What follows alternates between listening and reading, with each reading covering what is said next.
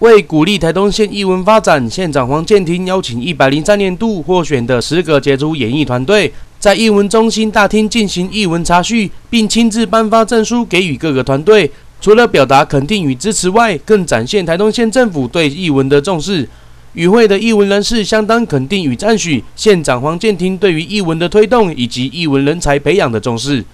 今天我们啊表扬今年度的台东在地的杰出艺文表演团队哈，呃，总共分三个等级，那么十支非常优秀呃的表演团队，呃，大家都看到了哈，呃，在不同的领域非常多元、非常丰富啊。那这个就是我们在地的呃文化。这个的软实力啊，那我们非常感谢他们，呃，长期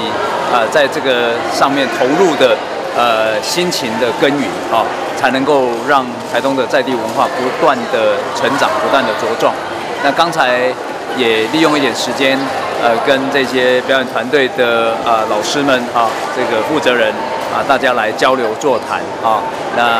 呃期待凝聚更多的共识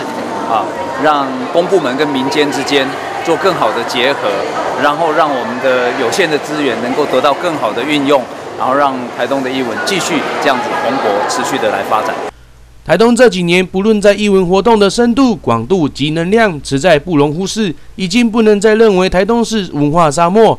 县府期望推动观光旅游活动，以及招商投资，提升经济，鼓励乡亲能够买票进入艺文中心看表演，而获选团队的精彩演出。将在六月二十一号晚上，台东站里台东县一百零三年度杰出演艺团队联合展演。东台新闻杨国柱采访报道。